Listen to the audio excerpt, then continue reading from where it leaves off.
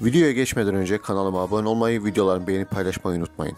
31 Mart'ta yapılacak yerel seçimlere günler kala kamuoyu araştırması yapan şirketler yaptıkları saha araştırmalarını yayınlamaya devam ediyor. Seçime günler kala adayların saha çalışmaları ile daha da netleşen anket sonuçları kararsız seçmenin de azaldığını gösteriyor. Avrasya Araştırma'nın yaptığı anket sonuçlarına göre başkent Ankara'da Millet İttifakı'nın adayı Mansur Yavaş %51.6, Cumhur İttifakı'nın adayı Mehmet Özseseki %45.6,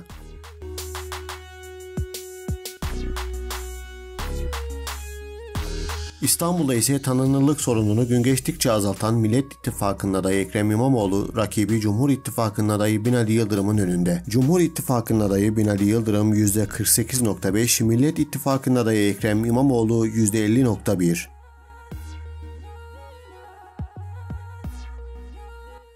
Cumhuriyet Halk Partisi'nin kalesi olan İzmir'de Cumhur İttifakı'nın adayı Nihat Zeybekçi %30.1, Millet İttifakı'nın adayı Tunç Soyer %68.7.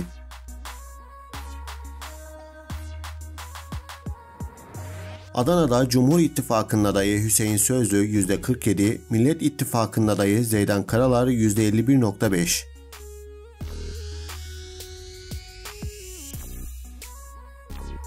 Antalya'da Cumhur İttifakı'nın adayı Menderes Türel %44.4, Millet İttifakı'nın adayı Muhittin Böcek %54.3.